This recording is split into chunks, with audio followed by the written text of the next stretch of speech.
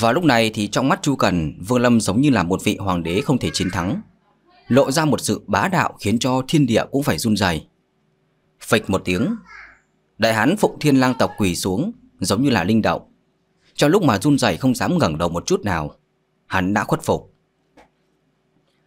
Toàn bộ những chuyện này thì Vương Lâm dường như không phát hiện ra. Ánh mắt giống như là xuyên thấu linh động và Chu Cẩn vậy, nhìn về phía trước. Trong mắt Vương Lâm hắn thì tất cả những tu sĩ xung quanh đài dường như nghịch chuyển thời gian, quay về vô số năm trước. Chém giết động trời. Động không phải là những người đã tử vong bên ngoài cái đài này động, mà là trong tâm thần Vương Lâm, cùng với cả những ánh mắt hắn hiện lên một cảnh tượng đã bị chôn vùi theo năm tháng. Trong cảnh tượng này có một chiếc ô đang mở ra. Ở dưới chiếc ô này là một văn sĩ trung niên, yên lặng xuyên qua vô số tu sĩ đang xông lên phía trước, nhìn người đang ngồi ở trên ghế đằng xa, giơ tay trái lên chỉ về phía trước. Một chỉ này điểm tới. Trong mắt Vương Lâm mặt đất xung quanh đài cao ầm ầm chấn động. Từng trận tiếng hô kinh thiên vang lên. Chỉ thấy mấy vạn tu sĩ phía trước toàn bộ điên cuồng lao tới, dấy lên một cơn cuồng phong quét ngang lao thẳng tới cái đài kia. Phía sau mấy vạn tu sĩ này, một đám tu sĩ còn nhiều hơn gấp 10 lần tất cả đều gầm lên, với một tốc độ cực nhanh mà vọt tới dường như là không sợ chết.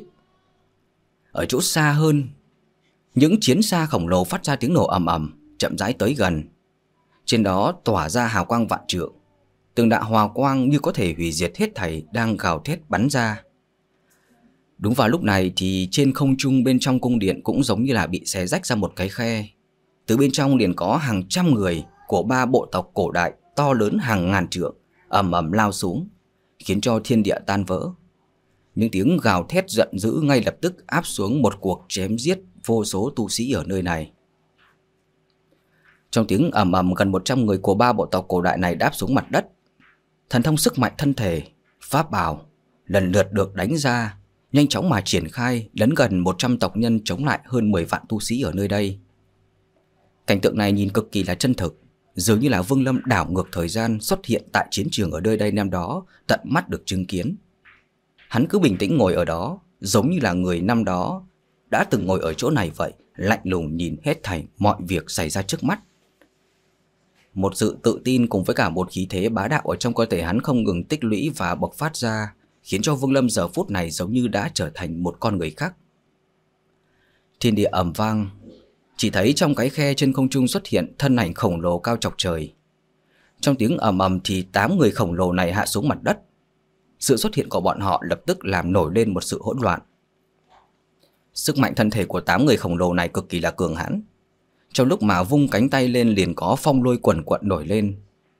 Có rất nhiều tu sĩ bị chạm phải liền phun ra máu tươi lùi về phía sau. Còn có một vài tu sĩ thân thể trực tiếp mà tan vỡ chết. Nhưng mà ngay khi tám người khổng lồ này xuất hiện thì tu sĩ dưới chiếc ô đang mở ở đằng xa kia từ trong miệng liền truyền ra từng trận tiếng niệm chú. Chỉ thấy thiên địa vặn vẹo, bất ngờ giống như hóa thành một tấm gương. Từ bên trong tấm gương truyền ra từng trận tiếng rít gào. Tám con rồng dài cả vạn trượng ầm ầm lao ra, vờn quanh thiên địa thần sắc dữ tợn, hướng về phía đài cao, phát ra tiếng gào thét kinh thiên.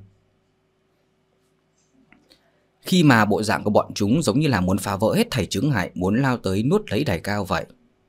Một loại cảm giác không rõ ràng, có lẽ là những cảnh tượng hư ảo này ở trong mắt Vương Lâm quá mức là chân thực. Hoặc khí thế mà hắn mượn đang dung hợp ở bên trong cơ thể khiến cho Vương Lâm hóa thành một nam tử đầu đội trời chân đạp đất năm đó đã từng ngồi trên chiếc ghế này. Hắn chậm rãi mà giơ cánh tay lên, rồi đột nhiên nắm chặt lại, hướng về phía trước cách không đánh ra một quyền. Thần chấn, binh tu liệt vị. Một quyền của Vương Lâm xuất ra thiên địa trong cảnh tượng hư ảo kia ầm vang. Một sự chấn động kinh thiên động địa dưới một quyền này nổi lên. Chỉ thấy phía trước cái ghế, mấy ngàn tu sĩ đang dũng mãnh lao tới toàn bộ đều thân thể ầm ầm chấn động. Trong tiếng ầm ầm vang vọng, mấy ngàn tu sĩ này đều phun ra máu tươi, thân thể vặn vẹo một cách quỷ dị. Giống như xung quanh thân thể bọn họ bỗng nhiên xuất hiện một vòng xoáy. Thân thể bọn họ bị vòng xoáy này quấn lấy dường như không thể tự mình điều khiển được nữa. Từ trong sự hỗn loạn sắp ma thành bốn hàng chỉnh tề. Cũng ờ, phải ở Mỗi chỗ này là như vậy đâu, mà dưới một quyền này thì xung quanh đài cao, mấy vạn tu sĩ ở phía trước đều phun ra máu tươi. Thân thể thay đổi phương hướng một cách quỷ dị, sắp thành những hàng ngũ chỉnh tề. Một luồng tử khí tràn ngập. Những ờ, hàng ngũ ở xung quanh, tất cả tu sĩ dưới một quyền này đều bị đánh nát phủ tạng, đánh nát nguyên thần, đánh nát hết thảy sức sống.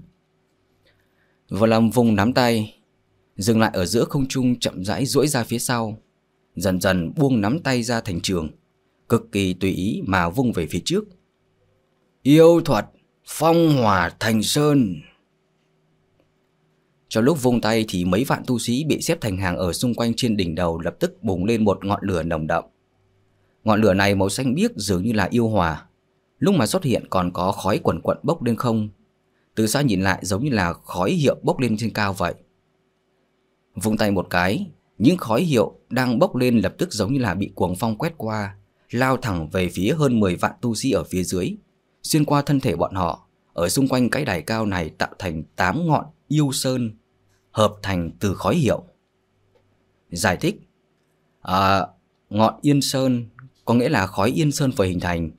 Trong tiếng ầm vang từ bên trong lập tức tràn ra một lực hút rất là lớn. Lực hút này cực kỳ hùng mạnh dường như không thể chống cự đem hơi hơn 10 vạn tu sĩ bốn phía xung quanh nhanh chóng mà hút lấy. Giờ đây cho dù bọn họ có phản kháng như thế nào thì cũng không thể vùng vẫy thoát ra khỏi lực hút này được. Trong nháy mắt này tiếng kêu thảm thiết vang lên kinh thiên động địa. Hơn 10 vạn tu sĩ kia bị tám ngọn yên sơn nuốt lấy. Theo khói tiêu tan, tám ngọn yên sơn này bất ngờ trở thành tám ngọn núi thi thể.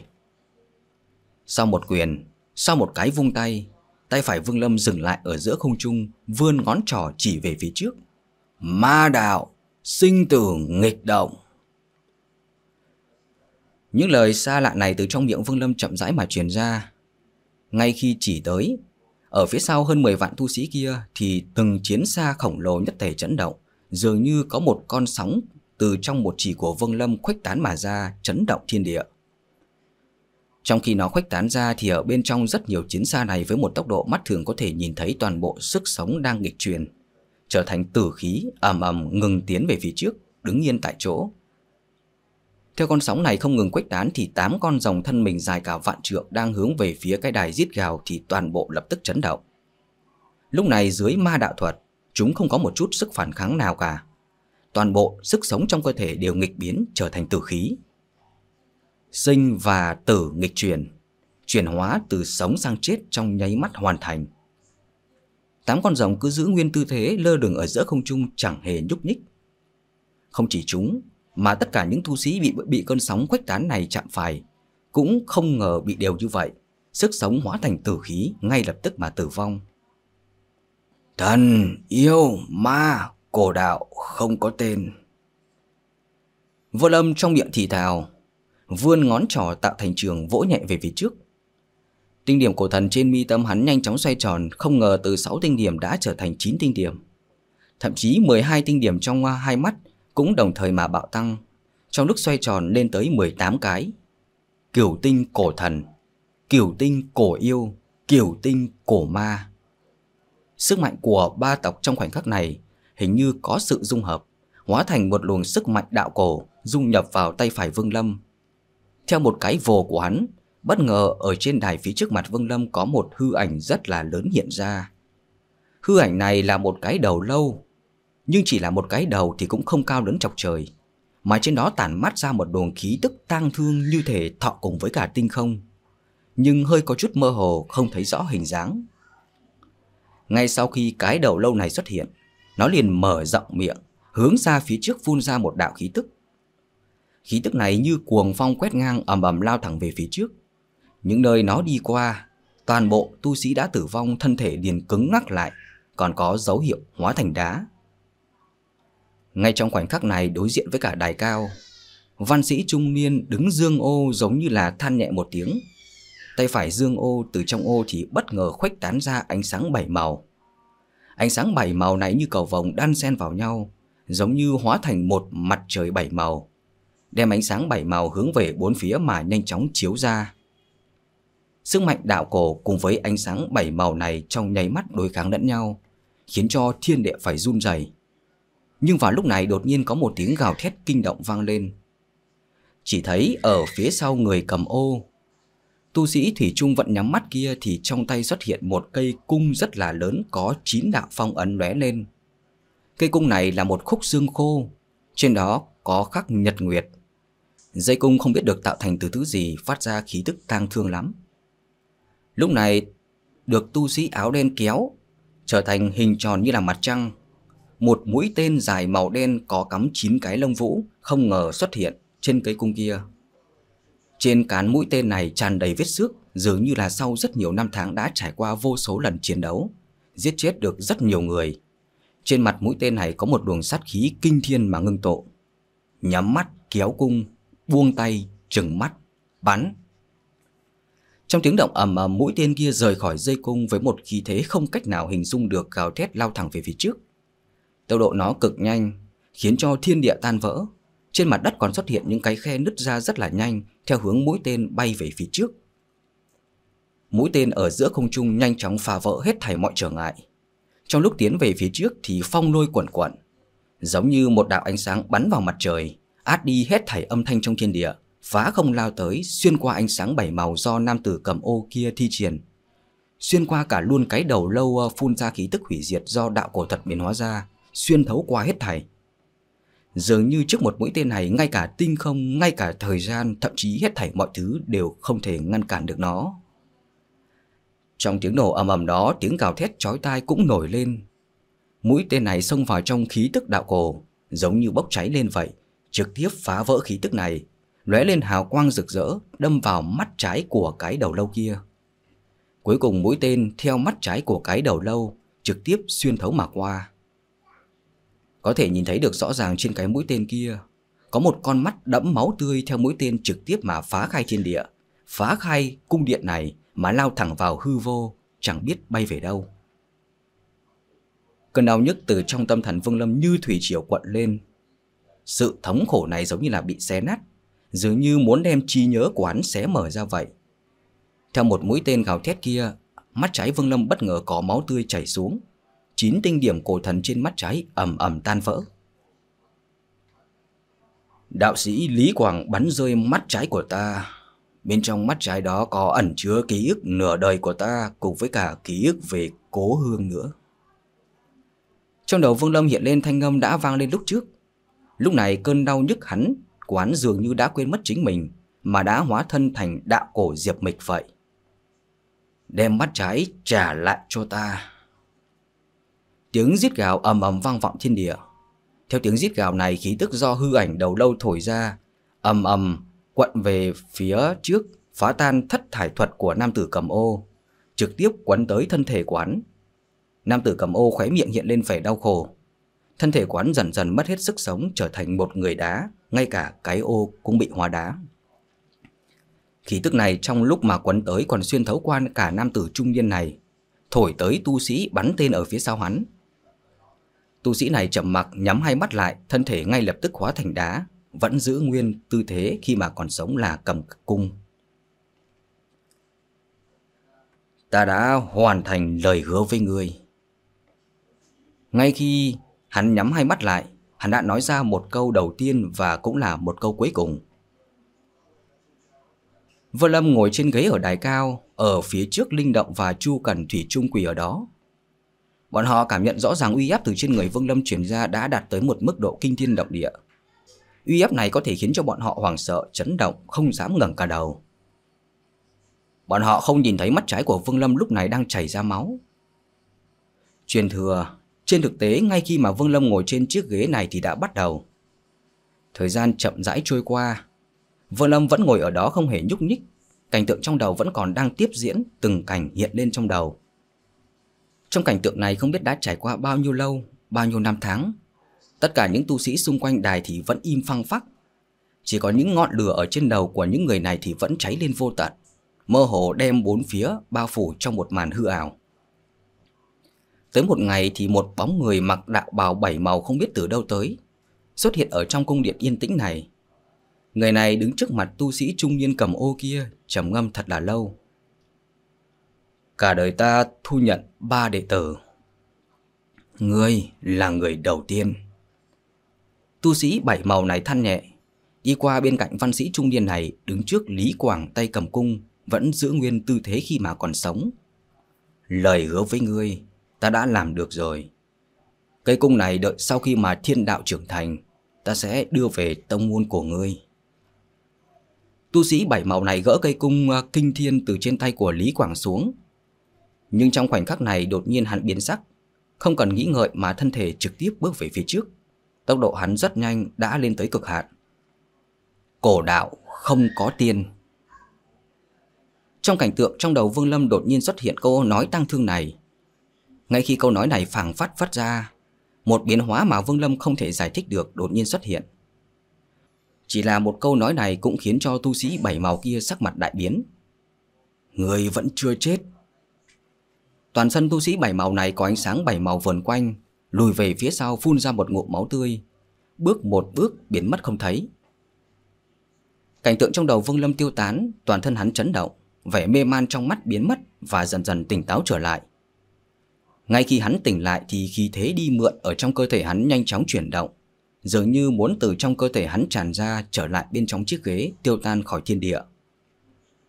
Trong thời gian ngắn từ trong cái ghế đột nhiên tuôn ra một luồng lực bài xích rất là mạnh, dường như muốn đẩy Vương Lâm rời đi. Hình như có một ý chí tồn tại bên trong cái ghế này. Ngoài người năm đó ra thì không còn người thứ hai có tư cách ngồi trên chiếc ghế này nữa. Lúc trước khi mà Vương Lâm ngồi xuống, ý chí này vẫn chưa thức tỉnh. Nhưng theo khí tức của yêu, ma nhập vào trong cơ thể Vương Lâm, theo những cảnh tượng hiện lên trong đầu quán, sau khi mà cảnh tượng kia tiêu tán thì hắn tỉnh táo trở lại, ý chí này cũng đã thức tỉnh. Sau khi ý chí này thức tỉnh, thì lực bài xích này ầm ầm hiện lên, chẳng muốn đẩy Vương Lâm rời khỏi mà còn muốn thu hồi lại khí tức lúc trước đã mạnh mẽ nhập vào trong cơ thể Vương Lâm nữa. Giống như ý chí này không cho phép Vương Lâm có được khí tức vậy. Sắc mặt Vương Lâm âm trầm, không kịp suy nghĩ nhiều nhưng mà trong lòng vẫn muốn khí tức này vĩnh viễn ở trong cơ thể mình, không cho chúng phát tán ra ngoài. Vì vậy, hắn cùng với cả cái ghế này xảy ra xung đột kịch liệt. Dưới lực bài xích cường đại kia thì Vương Lâm cầm nhẹ trên mặt nổi đầy gân xanh, cố gắng trụ vững, không cho thân thể rời khỏi ghế một chút nào. Hắn có một cảm giác một khi mà mình bị đẩy khỏi ghế thì khí thế đi mượn được ở trong cơ thể sẽ lập tức tan vỡ. Muốn giữ lại thì phải ngồi vững ở trên cái ghế này. Thời gian chậm rãi trôi qua một nhịp thở, hai nhịp, ba nhịp thở. Sau thời gian ba nhịp thở dường như Vương Lâm đã lên tới giới hạn. Nguyên lực trong cơ thể nhanh chóng vận chuyển, cố gắng mà chống cự lại lực bài xích ngày càng mạnh, đồng thời thì điên cuồng hấp thu khí thế đi mượn được kia. Vì hắn đã thức tỉnh, tinh điểm cổ thần trên mi tâm đã trở thành 6 cái. Nhưng lúc này theo hắn nhanh chóng hấp thu thì tinh điểm thứ 7 cũng mơ hồ sắp sửa xuất hiện. Ở trong mắt phải của hắn, cổ ma lực vần quanh còn có dấu hiệu biến thành ma tinh nữa. Nhịp thở thứ tư. Ngay khi mà Vương Lâm trụ đến nhịp thở thứ tư, trong đầu hắn chấn động 9 tấm bản đồ lúc trước xuất hiện trong ờ, đầu mỗi khi mà đài mộ liên cấp toàn bộ đều vỡ tan. Sau khi bản đồ vỡ tan, hắn nhìn thấy ở dưới tấm bản đồ còn có một khu vực vô biên vô hạn. Khu vực này do 6 tấm bản đồ tạo thành. Phía dưới 6 tấm bản đồ này không ngờ còn có thiên địa. Một vùng thiên địa do 3 tấm bản đồ tạo thành. Cổ mộ này cũng không phải chỉ có một tầng này, mà còn có ba tầng. Lúc này những người tiến vào cổ mộ mới chỉ đang ở tầng thứ nhất mà thôi. Cửa vào tầng thứ hai chính là đạo hào quang hình tròn ở phía trên cái ghế phía sau Vương Lâm lúc này. Cái ghế này nếu đem tầng thứ nhất của cổ mộ so sánh với một trận pháp, thì cái ghế chính là trung tâm của trận pháp đó. Lúc này ngay khi mà Vương Lâm thấy được tầng thứ hai, thì bất ngờ có vô số hồn phách thê lương tràn ra, khiến cho hắn hoảng sợ. Trong những hồn phách này còn có một vài hồn phách phát tán ra một uy áp hùng mạnh có thể so sánh với cả Lam Bộng Đạo Tôn cơ. Thậm chí ở sâu bên trong tầng thứ hai còn có một vùng đất mờ ảo tồn tại một khí thế đủ để kinh thiên không cách nào hình dung được, dường như đang ngủ say. Một khi mà tiến vào tầng thứ hai, chắc chắn sẽ khiến cho khí thế hùng mạnh này thức tỉnh. Đến lúc đó chỉ sợ ngay cả người có tu vi như Lam Bộng Đạo Tôn cũng khó mà đoán được sống chết. Đây mới chỉ là tầng thứ hai, còn tầng thứ ba thì sao? Lúc này đây Vương Lâm ngồi trên cái ghế như ngồi trên trung tâm của trận pháp. Thần thức hắn dung hợp với cả trận pháp xuyên qua tầng thứ hai nhìn thấy tầng thứ ba. Nhưng ngay khi thần thức quán tiến vào tầng thứ ba, thì lập tức có một thanh âm như là một tiếng gào thét bị kìm nén vô số vạn năm từ trong tầng thứ ba kia ầm ầm truyền ra. Thần thức của Vương Lâm dưới tiếng gào thét này thì lập tức tan vỡ. Tuy vậy, hắn vẫn có thể nhìn thấy ở bên trong tầng thứ ba, ở chính giữa ba tấm bản đồ có một trái tim rất là lớn. Trái tim kia đập ầm ầm, truyền ra một khí tức truyền thừa mà Vương Lâm có thể khẳng định, không có gì nghi ngờ. Thậm chí hắn có một cảm giác chỉ cần thân thể mình chạm vào trái tim đó thì có thể sẽ có được truyền thừa hoàn chỉnh của đạo cổ. Lại nói thì cái ghế mà hắn đang ngồi lúc này Khí tức lúc trước đã mạnh mẽ nhập vào trong cơ thể hắn thì chính là từ trong trái tim kia lấy một phương pháp kỳ dị nào đó mà liên tiếp truyền tới cái ghế này, mạnh mẽ dung nhập vào trong cơ thể của mình. Lúc này khí tức đang bị nhanh chóng hút đi. Một khi toàn bộ rời khỏi cơ thể thì Vương Lâm chắc chắn sẽ phải xông vào tầng thứ hai, xông vào tầng thứ ba mới có thể có được truyền thừa kia. Nhưng hành động này đừng nói là hắn, mà ngay cả những tu sĩ ở trong cổ mộ giờ phút này thì không một ai có thể làm được. Đủ những loại suy nghĩ lóe lên trong đầu Vương Lâm. Trong mắt hắn lộ ra vẻ điên cuồng, hạ quyết tâm. Quyết không thể để cho khí tức đi mượn này phát tán ra ngoài cơ thể. Nhịp thở thứ năm Trong mắt Vương Lâm lóe lên hồng quang lộ ra vẻ dữ tợn. Tinh điểm cổ thần thứ bảy trên mi tâm điên cuồng hấp thu khí thế đi mượn. đã vào trong cơ thể của ta Thì là của Vương Lâm ta Sao có thể nói đến là đến Đi là đi chứ sau khi Vương Lâm thức tỉnh uy áp truyền đến Linh Động và Chu Cẩn đã nhanh chóng tiêu tan khiến cho hai người uh, có dũng khí ngẩng đầu lên. Chu Cẩn kia thì đang dãy ruộng muốn ngẩng đầu lên nhưng mà trong khoảnh khắc này, Vương Lâm không nghĩ ngợi đột nhiên giơ tay phải lên. Nương theo khí thế trong cơ thể lúc này vẫn chưa hoàn toàn tiêu tán, hóa thành một chỉ như thiểm điện. ầm ầm một tiếng điểm lên mi tâm của Chu Cẩn. Một chỉ hạ xuống Chu Cẩn phun ra máu tươi, thân thể lảo đảo trên mi tâm quán bất ngờ xuất hiện một ký hiệu, ký hiệu cổ nô. Hai người đứng hai bên tả hữu, hiến tế hương hỏa hóa thành toàn bộ sức mạnh. Phong ấn cái ghế này giúp cho ta lấy được truyền thừa, nhanh lên. Vô Lâm nói cực nhanh.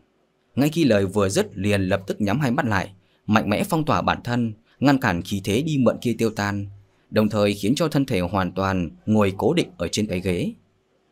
Nhịp thở thứ sáu Linh Đạo không chút do dự trực tiếp đứng dậy đi tới bên trái Vương Lâm, hai tay bấm quyết, đặt lên trên cái ghế không ngừng đưa hương hỏa lực từ trong cơ thể dũng mãnh nhập vào trong, đồng thời còn giơ tay trái lên cách không đặt lên trên người Vương Lâm, giúp triệt tiêu lực phản chấn của cái ghế kia.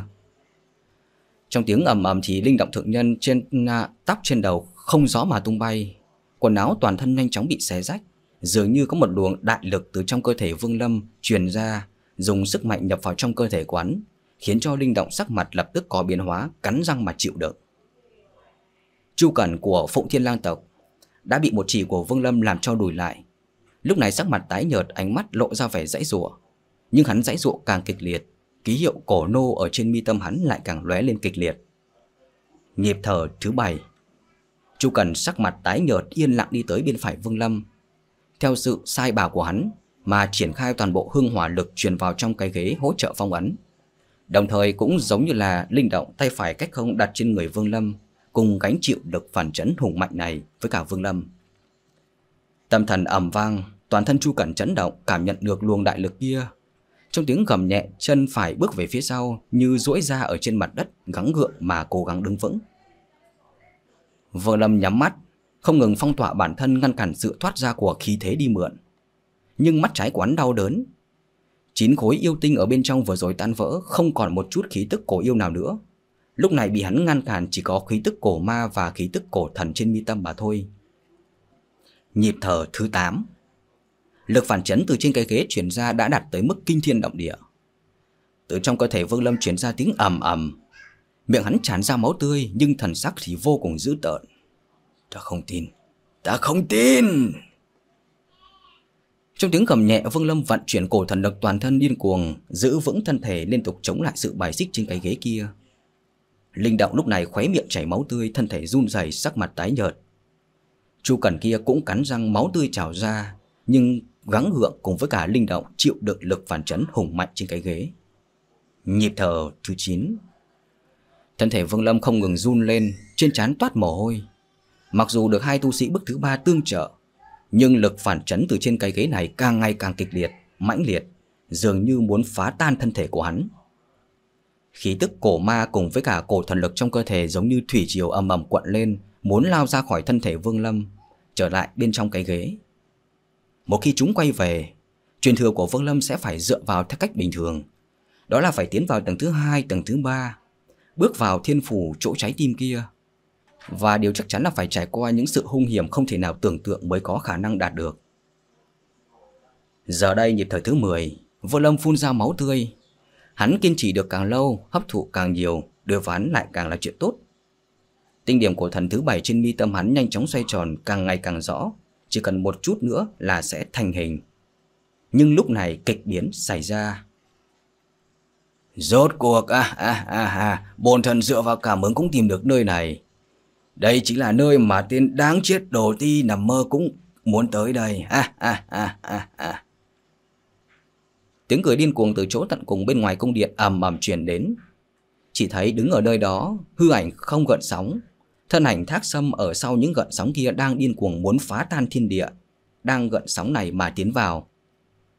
Theo hắn tấn công tới thì những gợn sóng kia như là một tấm lưới bị kéo ra lồi lõm. Có tiếng nổ ầm ầm kinh thiên vang lên bị thác sâm từng quyền đánh vào. Đôi mắt Vương Lâm tràn ngập tơ máu nhìn chằm chằm vào thác sâm đang gầm thét vung quyền ầm ầm đánh tới muốn đột phá tấm lưới hư ảo tiến vào trong cung điện. Ánh mắt Vương Lâm như điện rơi vào trong tấm lưới hư ảo kia, chậm rãi gắng gượng đợi thời gian trôi qua. 11 nhịp thở, 12 nhịp thở, 13 nhịp thở. Thời gian 13 nhịp thở thì như trong chớp mắt thôi nhưng trên thực tế đối với cả Vương Lâm mà nói thì mỗi nhịp thở lại như là nhiều năm tháng, không khác gì 300 năm dài rằng rẵng.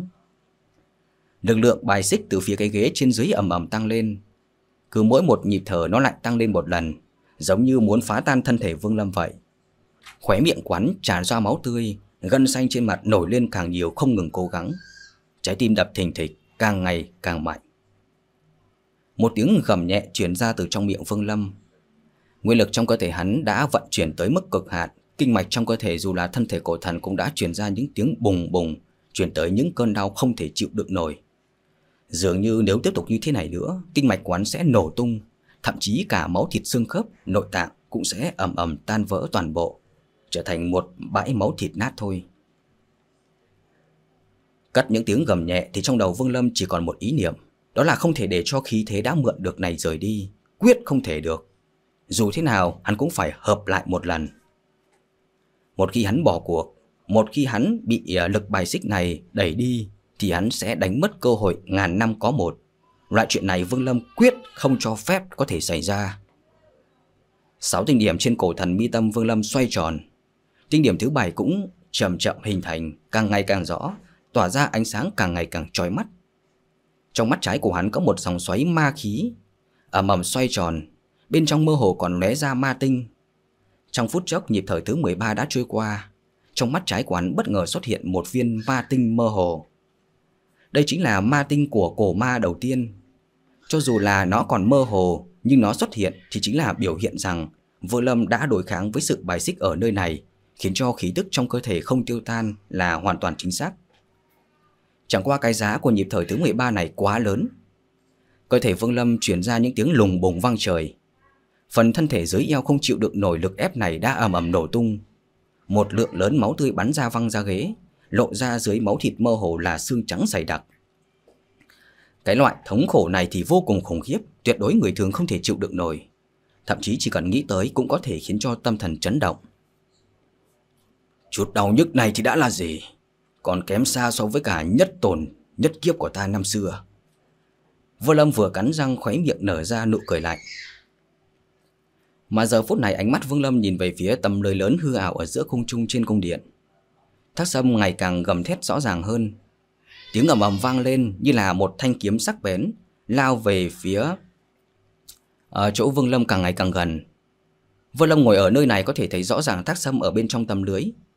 Thần sắc của hắn dữ tợn gầm thét kinh thiên, tám tinh điểm trên mi tâm nhanh chóng xoay tròn, tỏa ra khí tức như là thờ thời vạn cổ. Nắm tay hắn đánh tới như là gió không ngừng vung lên, mỗi một lần hạ xuống đều khiến cho tấm lưới hư ảo chấn động kịch liệt giống như lúc nào cũng có thể sụp đổ. 14 nhịp thở, 15 nhịp thở. Hai nhịp thở này trôi qua, lực lượng bài xích trên chiếc ghế lại càng tăng mạnh một lần nữa. Giống như có một đôi tay khổng lồ vô hình từ phía dưới đẩy lên muốn hất Vương Lâm ra khỏi ghế. Nhịp thở thứ 16 trong nháy mắt này, lực phản chấn ở chỗ hắn ngồi dường như đã đạt tới tinh đỉnh điểm. Bỗng nhiên thay đổi trong nháy mắt tiêu tan, lập tức hóa thành lực hút. Lực đẩy phía dưới thân Vương Lâm tán đi, nhưng không có một chút thư giãn nào cả. Ngược lại, đồng tử trong mắt hắn co rụt lại. Đây chính là sự yên lặng trước cơn bão. Sự yên lặng trôi qua sẽ là lúc hủy thiên diệt địa. Linh động, chu cẩn, toàn lực chống cự. Vân Long không cần nghĩ ngợi lập tức giống lên. Lực hút ở chỗ ngồi của hắn không chỉ tác động lên Vương Lâm, mà cùng theo một phương pháp kỳ dị nào đó mà tác động lên cả tầng thứ ba, chấn động cả trái tim khổng lồ kia. Trong một tiếng nổ lớn thì bất ngờ một khí tức cường đại từ trái tim đó phá vỡ hư không tràn vào trong chiếc ghế này. Trong nháy mắt khí tức này tràn tới, lực hút trên chiếc ghế tàn ra bị thay thế bởi lực phản chấn gấp trước cả trăm lần ẩm ẩm mà bộc phát. Dù lực lượng phản chấn gấp trăm lần này chỉ trong nháy mắt, nhưng mà trong khoảnh khắc khi nó bộc phát liền phá tan thân giới của Vương Lâm, huyết nhục mơ hồ xương khớp lộ ra. Những tiếng ầm ầm vang vọng, hai chân Vương Lâm liền tan nát hóa thành một đám máu thịt bầy nhầy. Cùng với lúc đó linh động thượng nhân à, chia sẻ lực phản chấn, thân thể cũng chấn động kịch liệt, tay trái ầm một tiếng sụp đổ trực tiếp tan nát. Hắn bị lực lượng này đẩy một cái, thân thể phịch phịch phịch lùi lại phía sau mấy bước, phun ra một ngụm máu tươi, lại tiếp tục bị quấn về phía sau. Nhưng dù bị lùi về phía sau, hắn vẫn nghiêm chỉnh tuân theo lời nói của Vương Lâm, hai tay bắt quyết, một pho tượng máu đen khổng lồ ầm ầm biến nào ra phía sau thân thể của hắn. Pho tượng máu đen này chính là ma thần của tộc lạc của linh động thượng nhân. Song trường ầm ầm vung ra, ở trên không trung đặt lên trên thân thể Vương Lâm. Đại hán Chu cần của Phụng Thiên Lang tộc sắc mặt cũng là lập tức trắng bệch. Cánh tay phải cũng phát ra tiếng răng rắc, xương cốt ầm ầm tan nát thành bột phấn huyết nhục bay ra tứ phía. Thân thể lùi ra phía sau mấy bước, phun ra máu tươi. Hắn cầm nhẹ một tiếng, đột nhiên phía sau có một thư ảnh huyết lang biến nào hiện ra. Huyết lang này rít gào lướt qua Chu Cần, thay thế thân thể hắn chia sẻ lực lượng sụp đổ từ thân thể Vương Lâm chuyển tới. Linh động thượng nhân và Chu Cần cũng chia sẻ 7 phần lực lượng bộc phát từ chiếc ghế, chuyển lên người Vương Lâm chỉ còn 3 phần. Cũng nhờ có sự tồn tại của hai người, chứ nếu không thì Vương Lâm rất khó có thể duy trì được tới nhịp thở thứ 16. Dù là lực lượng từ chiếc ghế bộc phát ra lớn gấp trăm lần, nhưng khí tức truyền thừa ẩn chứa bên trong đó cũng nồng đậm hơn gấp trăm lần. Va chạm với cả thân thể Vương Lâm có một phần trực tiếp truyền vào trong cơ thể quán. Bị khí tức này truyền tới, cơ thể Vương Lâm ầm vang. Tinh điểm mơ hồ hình thành bên ngoài mi tâm tỏa sáng vạn trượng với tốc độ nhanh nhanh dần dần hiện lên ra hoàn toàn. Nhìn biểu hiện này thì trong thời gian 3 nhịp thở nữa thôi, tinh điểm thứ 7 này sẽ hoàn toàn thành hình cổ thần thất tinh sắp sửa xuất hiện, hoàn chỉnh. Về phía thác sâm thì tiếng gầm thét của thác sâm càng thêm rõ. Hư ảnh khổng lồ muốn đột phá tấm lưới giờ phút này đã giống như là tới cực hạn khoảng cách tới Vương Lâm và lúc này không ngờ không còn tới ngàn trượng. Thân thể của thác sâm trong tấm lưới lao về phía trước không ngừng lớn lên, trở thành cao mấy ngàn trượng, quyền đánh ra như mưa ầm ầm giáng xuống. Tấm lưới hư ảo khổng lồ rốt cuộc không thể chịu đựng nổi, xuất hiện những khe nứt nhỏ. Vỡ cho bồn thần Vỡ Vỡ. Tác sâm giống như không nhận thấy sự tồn tại của Vương Lâm vậy. Vừa gầm thét, vừa vung tay nhanh hơn, Thần sắc tràn ngập sự hưng phấn. Đạo cổ đáng chết này. Truyền thừa này nên thuộc về bổn thần. Đưa mắt ở khắp tinh không, chứ bổn thần ra còn có tộc nhân nào có đủ tư cách này nữa. Người lại năm lần bảy lượt chuẩn bị những thứ ngăn cản bổn thần. Người đúng là hồ đồ rồi. Về phần Vương Lâm thì hai mắt hắn đỏ bừng. Giờ phút này nửa người dưới quán đã tan nát. Dù vẫn ngồi sừng sững ở đó nhưng nỗi thống khổ này dù có lớn hơn, hắn cũng chẳng để ý. Vương Lâm chỉ cần có thể lưu lại khí tức này trong cơ thể. Chỉ cần có thể khiến bản thân trở thành cổ thần thất tinh thì mọi thương tích trong nháy mắt có thể khôi phục. Khả năng khôi phục của cổ thần thất tinh sẽ vượt xa cổ thần lục tinh. Nhịp thở thứ 17 Lực phản chấn gấp trăm lần ầm ầm gia tăng dù hiện giờ nó chỉ tăng so với cả vừa rồi mấy lần thôi, nhưng đã có lực lượng gấp trăm lần lúc đầu làm cơ sở mạnh mẽ của lực phản chấn này dù là thác sâm ngồi ở đây cũng sẽ tan nát toàn thân mà chết. Lực phản chấn mênh mông này trực tiếp xuất hiện khiến thân thể Vương Lâm run rẩy. phun ra máu tươi thần sắc dữ tợn gần như là trở thành điên cuồng. Cái ghế này, đã cô Diệp Mịch có thể, Vương Lâm ta tại sao lại không thể chứ? Ta cứ tiếp tục, để xem ngươi làm sao mới ngăn cản được ta. Lực phản chấn như là biển động ầm ầm tràn tới xuyên thấu qua thân thể Vương Lâm truyền tới thần thông linh động thượng nhân và Chu Cần biến ảo ra để chia sẻ lực lượng với hắn. Pho tượng ma thần giới lực phản chấn này cường đại không thể nào hình dung nổi, ầm ầm sụp đổ, hóa thành vô số những mảnh nhỏ bị quấn đi. Linh động thượng nhân phun ra một ngụm máu tươi bị đánh bay khỏi đài đá, rơi xuống mặt đất chỗ cung điện. Huyết lang của Chu Cần rên lên một tiếng, toàn thân như bị gió cuốn tan thành mây khói. Thân thể Chu Cần vang lên những tiếng bang bang. Trong lúc lùi lại, phía sau cũng bị cuốn đi mấy trăm trượng ầm một tiếng rơi trên mặt đất. Hai người bọn hắn vì Vương Lâm mà chia sẻ hơn phân nửa lực lượng phản chấn. Trong thời gian ngắn không thể tiếp tục trợ giúp được nữa. Lúc này tất cả mọi chuyện phải nhìn vào bản thân Vương Lâm. Nhịp thở thứ 17 Một nhịp thở nói thì dài, Nhưng mà như vậy trên thực tế lại rất là nhanh ngay lúc mà Linh Động Thượng Nhân và Chu Cần vừa bị quấn đi Thì nhịp thở thứ 17 đã tới Mà giờ phút này đây tiếng cầm động của thác sâm đã áp sát rồi Cái lưới khổng lồ hư ảo không còn có thể tiếp tục chống đỡ, Bắt đầu sụp đổ trong phạm vi lớn Thân thể thác sâm ở bên trong lúc này sắp sửa lao ra, Mà khoảng cách giữa hắn và Vương Lâm giờ không còn tới trăm trượng Nhịp thở thứ 17 đã tới, lực phản chấn gấp trăm lần kia lại tăng thêm vài lần nữa. Với trạng thái của Vương Lâm hiện giờ thì căn bản không thể chống cự. Tinh điểm thứ bảy trên mi tâm của hắn lúc này đã nhanh chóng xoay tròn, hình thành được một nửa, chỉ cần hai nhịp thở nữa thôi thì sẽ hoàn toàn xuất hiện hoàn chỉnh. Ngay trong tích tắc này tay phải Vương Lâm chợt giơ về phía trước chụp vào hư không một cái, tiếng ầm ầm vang lên. Chỉ thấy từ đằng xa có một thân thể cổ thần đã hóa đá, lớn tới mấy trăm trượng ầm ầm bay ra, trong nháy mắt bị Vương Lâm chụp một cái, trực tiếp ném thẳng về phía thác sâm sắp sửa lao ra khỏi tấm lưới. Một tiếng ầm ầm vang kinh thiên nổ ra, lực lượng phản chấn đã tăng lên gấp mấy lần tràn vào cơ thể Vương Lâm.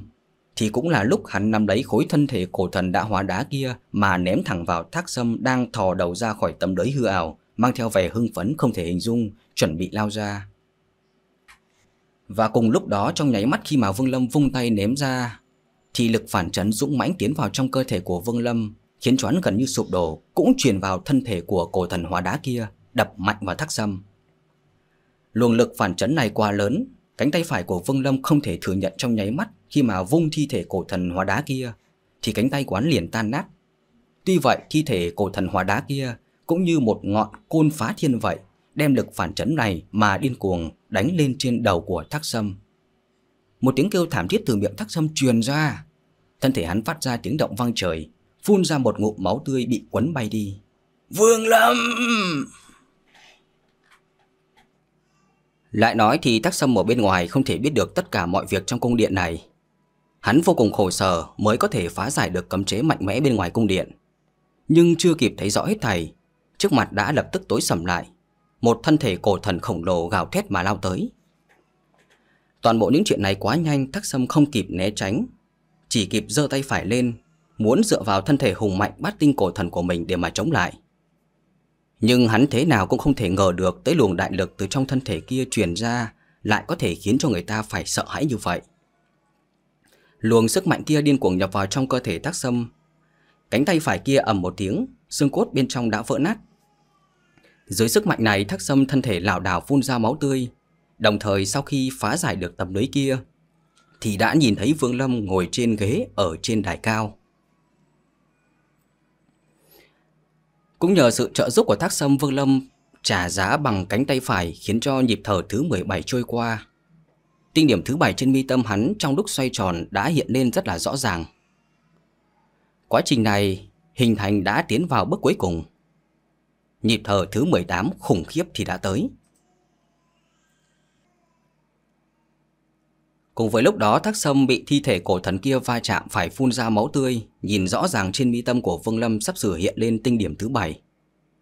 Không ai có thể hiểu rõ thân thể cổ thần của Vương Lâm hơn thác sâm ngay khi hắn nhìn thấy cảnh tượng này, liền đã hiểu rõ hết thảy.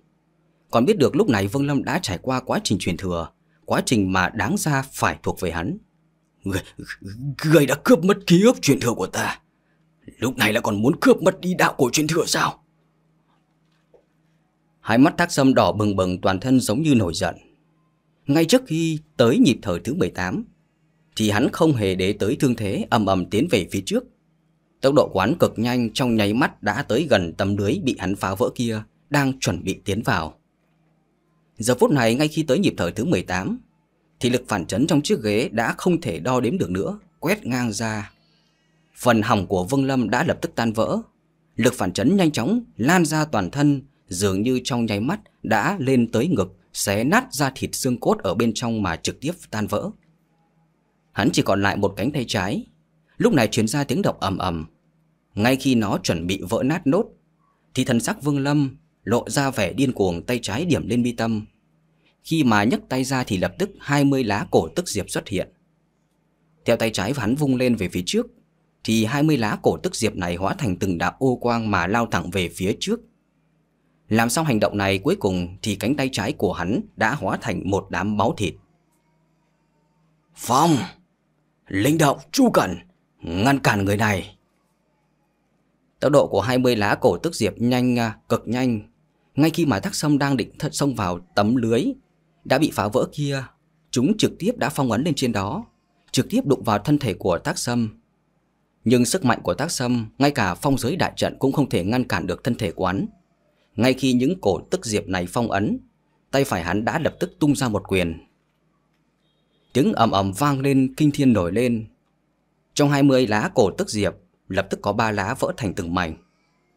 Cánh tay phải của tác sâm từ trong những lá cổ tức diệp bị vỡ vươn ra hướng về phía một bên hung hăng mà túm một cái chuẩn bị xé mở. Lúc này linh động cắn răng, không hề quan tâm thấy thương thế mà lao tới. Hai tay bấm quyết vung về phía trước. Chỉ thấy tử hải ầm ầm tràn ra, bên trong có vô số hồn phách hương hòa hóa thành một cơn sóng lớn mà tràn về phía trước. Đại hán Phụng Thiên Lang tộc cũng nhảy lên, hai tay vung lên khẩm nhẹ. Quần lang bái nguyệt. Ngay khi hắn dứt lời, bên ngoài thân thể của Chu Cần bất ngờ có những con sói hư ảo hiện ra, trong nháy mắt liền có hơn 10 vạn con, đồng chi chít chiếm cứ thiên địa. Ở phía trên cung điện này bỗng nhiên còn xuất hiện mặt trăng đỏ tròn như máu nữa. Hơn 10 vạn con sói hư ảo này cùng ngửa mặt lên trời phát ra những tiếng chu thê lương. Rồi từng con trực tiếp nhảy lên, hóa thành từng đám lang, yên dung nhập vào trong mặt trăng đỏ như máu trên trời. Cảnh tượng này, lang yên bốc lên bốn phía bay thẳng lên huyết nguyệt. Sau khi huyết nguyệt kia hấp thụ hơn 10 vạn đạo lang yên, thì ầm ầm hạ xuống, lao thẳng tới nắm tay của tác sâm đang đánh tới. Hai cao thủ bước thứ ba không biết sơ kỳ cùng triển khai ra thần thông mạnh nhất, hóa thành một sức mạnh hủy diệt lao thẳng tới tác sâm. Tiếng ầm ầm chấn động thiên địa, hương hỏa từ hài của linh động ngay khi chạm vào nắm tay của tác sâm, thì huyết nguyệt cũng đã đánh tới. Trong tiếng ầm vang tay phải tác sâm không thể thu lại. Nhưng ngay khi mà thu tay phải lại, thì đầu của tác sâm cũng từ trong lỗ hổng mà chui ra hướng về phía trước phát ra một tiếng giống chấn động toàn bộ cung điện. Tiếng giống của cổ thần. Thanh âm như sấm, ầm ầm truyền khắp cả cung điện, đinh tai nhức óc. Cổ thần dung nhập vào trong tiếng giống này, hình thành một cơn cuồng phong rất là lớn. Cuồng phong này điên cuồng bạo ngược quét ngang ra. Linh động lại phun ra máu tươi Tử Hải ở trước người tan vỡ, thân thể lảo đảo không còn sức để mà tiếp tục chiến đấu nữa. Còn chu cẩn của Phụng Thiên Lang tộc kia thì huyết nguyệt dưới một tiếng giống này cũng vặn vẹo. Từ bên trong truyền ra tiếng kêu thảm thiết. Lang Yên vừa rồi mới dung nhập vào từng tầng một thì tan vỡ. Trong nháy mắt ngay cả huyết nguyệt này cũng tan thành từng mảnh, tiêu tan chẳng còn. Chu Cần mặt không còn chút máu, trước ngực lõm xuống, cả người lảo đảo phun ra máu tươi ầm một tiếng ngã xuống mặt đất. Tiếng giống của cổ thần đã hóa thành cuồng phong quét qua cung điện này. Từng thân thể của tu sĩ trực tiếp tan vỡ, tám ngọn núi thi thể cũng hóa thành cho bụi. Thậm chí ngay cả tám con cự long cũng tan rã. Duy chỉ có thi thể của ba bộ tộc cổ đại là còn một nửa không bị cơn cuồng phong này thổi tới mà tan vỡ. Quả thật, thác sâm đã phát điên. Giống như là tiếng giống lúc trước quán khi bị Vương Lâm cướp đi ký ức truyền thừa vậy. Hiện tại muốn lấy đạo cổ truyền thừa sao hắn có thể không phát điên được. Thậm chí không tiếc bị trọng thương thì cũng phải đoạt lại thứ mà hắn cho rằng đáng lẽ phải thuộc về hắn. Sau khi mà Linh Động và Chu Cẩn không thể tiếp tục ngăn cản, thì song trường của Thác Sâm đã đồng thời duỗi ra đưa vào lỗ hổng của những cổ tức diệp, hướng ra phía ngoài mà hung hăng kéo một cái chuẩn bị tiến vào. Toàn bộ những chuyện này nói ra thì chậm thôi Nhưng thực tế thì cực kỳ nhanh. Thân thể Vương Lâm đang ngồi yên trên ghế. Vào nhịp thở thứ 18 Giới lực phản chấn đã bạo tăng lên gấp mấy lần Không ngừng tan vỡ. Ngực, cánh tay trái Trong mắt tiêu tan không còn. Chỉ còn lại cái đầu của Vương Lâm đang lơ lửng trên ghế. Dựa vào một ý chí kiên cường Mà cùng với cả chiếc ghế này Cách không liên hệ Nhưng sự tan vỡ thì vẫn chưa kết thúc Nhịp thở thứ 18 dường như dài vô cùng Không có kết thúc trên cái đầu của Vương Lâm xuất hiện những vết nứt, hóa thành những mảnh nhỏ hướng về bốn phía mà nổ tung. Đôi môi hắn, cái mũi, hai mắt lần lượt trong nháy mắt tiêu tan chẳng còn. Chỉ có 6 tinh điểm trên mi tâm vẫn còn đang nhanh chóng xoay tròn. Ngay khi sự tan vỡ này lan đến, chuẩn bị đem những tinh điểm cổ thần có ẩn chứa nguyên thần của Vương Lâm này hủy diệt toàn bộ, thì tinh điểm thứ bảy kia đột nhiên phát ra ánh sáng chói mắt, một luồng cổ thần lực như thủy triều điên cuồng từ trong tinh điểm thứ bảy này bộc phát mà ra. Theo sức mạnh bộc phát này, tinh điểm thứ bảy đang từ hư ảo mơ hồ đã lập tức hóa thành thực chất, hoàn thành quá trình quá độ, hoàn toàn xuất hiện. Ngay khi tinh điểm thứ bảy này xuất hiện, trên mi tâm của Vương Lâm, bảy tinh điểm đang xoay tròn cũng lập tức dừng lại. Dần dần, bảy tinh điểm tạo thành một hình tròn, chuyển động một vòng. Một luồng cổ thần lực so với lúc Vương Lâm còn là lục tinh cổ thần thì hùng mạnh hơn vô số lần ầm ầm tuôn ra. Từ bảy tinh điểm này lan thẳng xuống phía dưới. Đầu Vương Lâm bên dưới mi tâm, đôi mắt đang nhắm, cái mũi, đôi môi lại hiện ra. Một cái đầu hoàn chỉnh giống như hồi sinh vậy. Đồng thời bảy tinh điểm này lại xoay tiếp một vòng thứ hai nữa. Cổ, ngực, bụng, hai tay. Toàn bộ nửa người trên không ngờ bỗng nhiên ngưng tụ ra. Ở bên trong xương cốt cũng lần lượt xuất hiện. Theo sau đó là máu thịt nội tạng. Trong mỗi một bộ phận cơ thể đều ẩn chứa rất nhiều cổ thần lực. Trong mỗi một khớp xương đều có khí tức vô biên của cổ thần. Theo bài tinh điểm trên mi tâm quán xoay tròn vòng thứ ba, thì nửa thân giới của hắn đã ầm ầm ngưng tụ thành. Thân thể cổ thần vừa được ngưng tụ lại này không phải là mấy trăm trượng nữa mà là cả ngàn trượng. Cổ thần cao ngàn trượng. Cổ thần tất tinh, vương tộc thất tinh cổ thần cao ngàn trượng. Vợ lâm mở bừng hai mắt, thân thể hắn vẫn ngồi trên ghế, không rời đi một chút nào.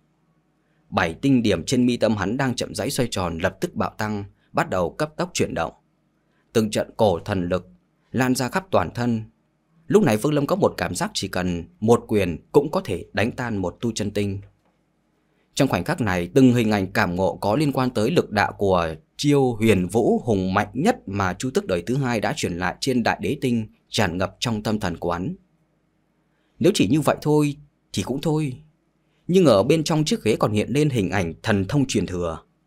Những thần thông này phá vỡ thần thức, lao thẳng tới Vương Lâm tiến nhập vào trong đầu hắn, hóa thành những ký ức khắc thật sâu của bản thân hắn. Cùng với lúc đó, có lẽ vì Vương Lâm đã ngồi trên chiếc ghế này suốt 18 nhịp thở. Ngay khi thân thể thất tinh cổ thần quán ngưng tụ lại, thì thần thức quán đã cùng với cả chiếc ghế này sinh ra một sự liên hệ không thể nói rõ. Sự liên hệ này cực kỳ quỷ dị. Rốt cuộc nó xuất hiện như thế nào, dường như là Vương Lâm trong thời gian ngắn cũng không có cách nào hiểu rõ. Mà hiện giờ hắn cũng không có thời gian để suy nghĩ nữa. Chính vì sự xuất hiện của một tia liên hệ này mà chiếc ghế này dường như hóa thành một đài mộ vừa Lâm ngồi trên đó, trong đầu bất ngờ xuất hiện toàn bộ hình ảnh của cả tầng thứ ba của cổ mộ. Thần tức quán với một phương thức mán không thể lý giải được, bị chiếc ghế này phóng đại lên gấp vô số vạn lần. Cảm nhận được ở bên trong cổ mộ này có một ý chí. Đây là ý chí của cổ mộ, cũng là một sức mạnh ý niệm mà đạo cổ Diệp Mịch đã lưu lại. Thần thức Vương Lâm trong lúc không ngừng phóng đại cùng với cả ý chí này dung hợp ầm ầm từ bên trong cung điện này hướng ra phía ngoài mà điên cuồng tràn ra. Người đầu tiên hắn tiếp xúc đó chính là Thác Sâm. Tiếng giết gào của Thác Sâm đột nhiên im bặt lại. Thân thể hắn chấn động mạnh, hai mắt lộ ra vẻ hoảng sợ. Bên trong tấm bản đồ thứ 9, nữ tử áo hồng khuôn mặt lộ ra vẻ phong tình kia lúc này thần sắc cũng âm trầm, đi thẳng về phía trước. Cấm chế mà nàng thao túng Thác sâm không biết vì sao lại lơi lòng, điều này khiến cho nàng cực kỳ là bất an. Không ngờ lại khiến cho tên tiểu tử cổ thần kia tiến vào trước tiên. Nhưng ta có tắc sâm, cũng không phải là không có cơ hội. Nhưng tại vì sao cấm chế này lại lơi lỏng như vậy nhỉ? Nàng cau mày lại trong lúc tiến về phía trước mặt trầm tư. Đột nhiên nữ tử này dừng lại khắp nơi bên trong tấm địa đồ thứ 9 ở phía trước. Đang hỗn loạn. Dường như có một cơn cuồng phong đang hoành hành nhất thể mà tràn ra. Nàng ngẩng mạnh đầu, thần sắc biến đổi. Nàng cảm nhận được rõ ràng có một thần thức khiến cho nàng phải run rẩy trong khoảnh khắc vừa rồi lướt qua người của mình. Sự hùng mạnh của thần thức này khiến cho tâm thần của nữ tử này chấn động. Đứng ngây ra đó hồi lâu mới tỉnh lại, ánh mắt lộ ra vẻ hoảng sợ. Đây là thần thức của ai vậy nhỉ? Chả lẽ là đạo cổ diệp mấy kia vẫn chưa bị tiên tôn giết chết sao? Và cũng ở trong tấm bản đồ thứ 9 này, phân thần của kiểu thiên ma tôn ánh mắt lóe lên, mộ đài dưới chân, bay nhanh về phía trước. Bổn tôn quán đã tiến vào trong cổ mộ, mặc dù bị Vương Lâm cướp mất lợi thế, nhưng hắn cũng không lo lắng một chút nào. Cứ lây đi, cho dù ngươi có lấy được tất cả, thì cũng không có cách nào mà còn sống để mà rời khỏi cổ mộ này được đâu. Trong mắt kiểu thiên ma tôn lóe lên hào quang, nhưng đúng vào lúc này đột nhiên phía trước trong hư vô ẩm ẩm quặn lên, vô số những dòng chảy hỗn độn đồng loạt tàn ra. Trong khoảnh khắc này, một thần thức vô biên gào thét lướt qua, đảo qua thân thể phân thân của kiểu thiên ma tôn này, trong nháy mắt đã lan ra xa. Nhưng một khoảnh khắc này cũng khiến cho phân thân của kiểu thiên ma tôn run lên. Tâm thần hắn chấn động, sắc mặt đại biến. Trong nháy mắt vừa rồi, trong lúc thần thức kia đảo qua, thậm chí hắn có một loại cảm giác toàn thân mình như là trần chuồng. Toàn bộ những bí mật đều bị thần thức kia biết hết vậy. Trong lúc hoảng sợ, phân thần của Kiều Thiên Ma Tôn trực tiếp dừng lại ở giữa không trung, trong mắt lộ ra vẻ rung động. Một khắc vừa rồi khiến cho da đầu hắn tê dại, cảm thấy hồn bay phách tán. Cảm giác này chỉ có năm đó khi hắn chưa trở thành cao thủ bước thứ ba mới cảm thấy được mà thôi. Là ai? Rốt cuộc là thần thức này của ai nhỉ? Sau mặt kiểu thiên ma tôn tái nhợt, ngơ ngác nhìn về phía hư vô phía trước. Trong đầu lần đầu tiên xuất hiện sự sợ hãi. Không chỉ có phân thần của kiểu thiên ma tôn và phấn y nữ tử này như vậy. Trong lúc bên trong cổ mộ thì tất cả tu sĩ còn sống sót đều trong nháy mắt cảm nhận được thần thức ngập trời này đảo qua người mình. Run rẩy lẩy bẩy kinh hoàng. Thần thức này tràn ngập ra một khí tức bá đạo, giống như hoàng đế ở trên không trung bao phủ mặt đất. Lúc này ở bên trong tấm bản đồ thứ bảy có một lão già mặc áo vải, người này đôi môi bị ba cây châm xuyên qua, dung nhan già nua lộ ra vẻ tàn nhẫn và hung ác chính là bổn tôn của đại hoang thượng nhân đã tiến vào cổ mộ, đi thẳng về phía trước. Thân thể của bổn tôn hắn tràn ngập tu vi huyền không. Trong lúc tiến về phía trước thì có một uy áp kinh thiên động địa không ai có thể ngăn cản. Hắn lững thững mà đi, năm bước đã vượt qua tấm bản đồ thứ nhất tiến về phía trước. Nhưng mà lúc này thân thể hắn đột nhiên dừng lại, hai mắt lóe lên tinh quang. Thần thức của Vương Lâm dung hợp với cả ý chí cổ mộ đảo qua trên người của Đại Hoang Thượng Nhân. Tiếng ầm ầm vang lên, Đại hoang thượng nhân này hai tay bấm quyết dơ lên hướng về phía trước túm một cái, giống như muốn bắt lấy thần thức chiến choán kinh hãi này vậy. Nhưng ngay lúc hắn giơ tay phải lên chạm vào thần thức này, chỉ thấy có một ý chí phấn chấn ầm ầm truyền ra, phản chấn truyền ra. Trực tiếp va chạm với cả đại hoang thượng nhân. Đại hoang thượng nhân này thân thể đạp đạp lùi về phía sau, sắc mặt lập tức đại biến, tâm thần run lên. Các các các các các các ạ, là ai?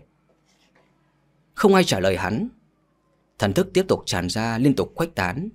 Từ tấm bản đồ thứ bảy này lan ra các tấm bản đồ thứ sáu, thứ năm. Trong tấm bản đồ thứ tư, Kiều Thiên Ma Tôn cùng với Diệu Âm Đạo Tôn hai người đã cùng nhau tiến vào trong này. Thần sắc hai người rất là bình tĩnh trong lúc đi qua vượt qua vô tận. Nhưng mà đột nhiên lúc này bổn tôn của Kiều Thiên Ma Tôn thần sắc biến đổi. Phần thân của Lão Phu báo tin rằng Hắn chưa kịp nói hết câu lập tức dừng lại Thần thức mà phân thân của hắn vừa cảm thấy đa mầm lao tới, lướt qua bên người hắn cùng với cả diệu âm đạo tôn. Đồng tử trong hai mắt diệu âm đạo tôn co rụt lại, dưới thần thức này không ngờ hắn bị tác động. Tâm thần chấn động khiến cho hắn không khỏi thất kinh nhìn Kiều Thiên Ma Tôn bên cạnh. Kiều Thiên Ma Tôn sắc mặt âm trầm, trong mắt lộ ra vẻ rung động. Rất rất rất mạnh đấy, mạnh phi thường, mạnh kinh khủng khiếp.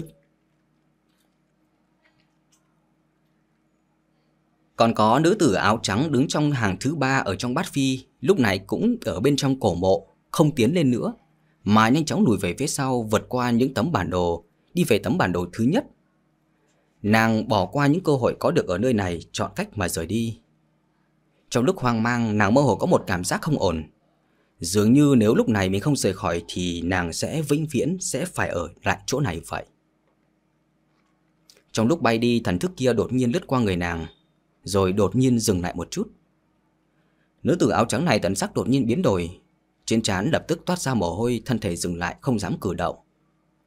Tâm thần chấn động Bị thần thức này ngưng tụ trên thân thể của mình, Giống như toàn thân đều bị người ta nhìn thấy rõ ràng vậy. Ngoài sự sợ hãi còn có một sự tức giận xấu hổ Bị nàng nhanh chóng kìm nén. Hồi lâu sau, thần thức này mới từ trên người nàng rời khỏi, hướng về phía trước mà tràn tới. Cho đến khi thần thức này rời khỏi, Nữ tử áo trắng này mới thở phào nhẹ nhõm. Dung nhan xinh đẹp của nàng có chút ửng hồng. Sau khi trầm mặc một lát, ánh mắt phức tạp nhìn thoáng qua hướng thần thức kia rời khỏi.